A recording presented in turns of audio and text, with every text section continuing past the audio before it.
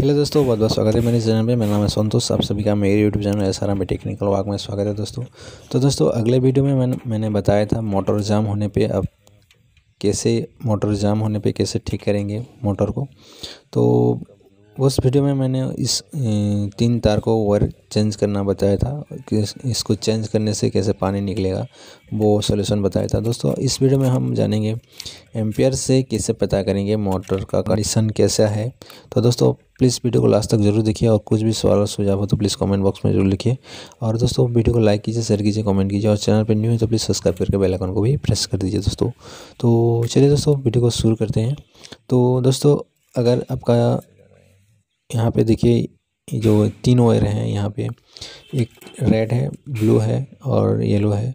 तो ब्लू है कॉमन का, कॉमन वायर है और रेड स्टार्टिंग है और येलो रनिंग है।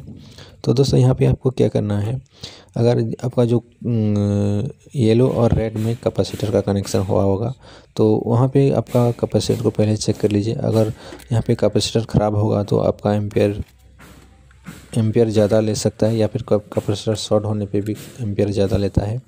अगर आपका मोटर जाम भी है, मोटर जाम भी है थोड़ा सा रुक रुक के चल रहा है तो एम्पियर भी ज़्यादा लेगा। तो दोस्तों यहाँ पे देखिए एम्पियर पे चलते हैं, एम्पियर मीटर पे। तो दोस्तों यहाँ पे अगर 10 एम्पियर से 1 एच का मोटर है तो 10 एम्पियर से ज़्यादा करंट लेगा। तो अगर 15 एम्पियर के आसपास ले रहा है तो आपका मोटर जाम है, थोड़ा रुक रुक के चल रहा है। कचरा बचरा घुस गया है तो यहाँ पे आपको क्या कर, क्या करना है? इस दोनों तार को पलट देना है येलो और रेड को और मोटर उल्टा घूमेगा उल्टा घूमने से आपका जो कचरा है वो निकल जाएगा। तो दोस्तों अगर पंद्रह एम्पेयर से ज़्यादा करंट ले एम्पेयर ले रहा है तो यहाँ पे पच्चीस एम्पेयर ले रहा है तो आपका मोटर पूरा या फिर शॉर्ट होगा या फिर जल जल गया होगा। तो दोस्तों यहाँ पे पूरा ही अगर एम्पेयर डायरेक्ट दिखाए तीस एम्पेयर तो दिखाए तो पूरा आपका मोटर पूरा फूक गया होगा तो आप ऐसे पता कर सकते हैं एम्पेयर से। अगर जाम हो तो दस एम्पेयर से ज़्यादा ले।